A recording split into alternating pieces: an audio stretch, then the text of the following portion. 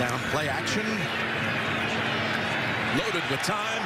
Loads it up long. And Holland. Oh, it's Howard, I should say, who makes the beautiful over-the-shoulder interception. And now he's going to tuck that football under and return it all the way to the Buffalo 45. Xavien Howard. And that's the, oh, we got to fight. Oh, my gosh. They're protecting the quarterback. The Giant is down. Holster body slammed him there, Jim. That was aggressive. That Someone's going to get a big penalty here. Oh, he's holding his helmet like, nope, that's my toy now. That's my toy. Nope, you're not getting it back. He's kind of big. You notice they don't go after him?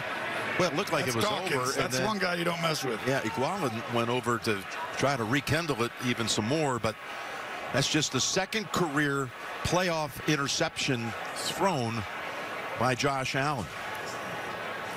Josh Allen comes out. Oh, yeah. It's Wilkins. That's frustration on Josh Allen's part, though.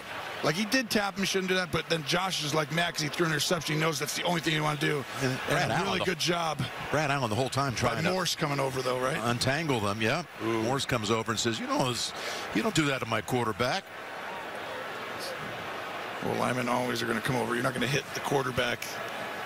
Mitch Morse, one of the great guys and great players in the National Football League, a great center. But Josh, that's the only way. We just got done talking about it. Last year, he had a 149 quarterback rating, 77% completion percent, nine touchdowns, no picks, 318 yards per game. And now he gave Miami the only chance I thought they had here was to give him the ball. I, I tell you what, that was some run back, too, by Howard. I mean, it was about 50 yards on the return. Hey, we saw yesterday, you can come back, right? Look at this. You're going to lose that battle, Josh. You are big for a quarterback, but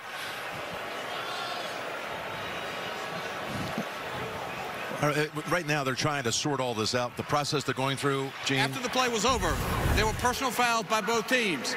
Number 94, Miami. Number 60, Buffalo. The penalty's offset. It's going to be first down. Usually At on these dead spot. interceptions, guys, what happens on the interceptions is the quarterback really, if he doesn't engage in blocking or anything, he's protected like a kicker. In this situation, Josh Allen is blocking, Brad Allen's watching, so then you have a back and forth. He's not protected. He's just a football player now. Uh, don't think any uh, any ejections. It looks like they went through that and they looked at that in New York. Didn't see anything that rose to the level of an ejection. Yeah, they're trying to hit John Brown, who caught a long touchdown last week. go, go ahead and watch this. This is not on Josh Allen when you look closely. Brown stops running. He's supposed to go to the back pylon corner. Josh Allen launches it, and that's the thing. You bring in Brown because he's got speed.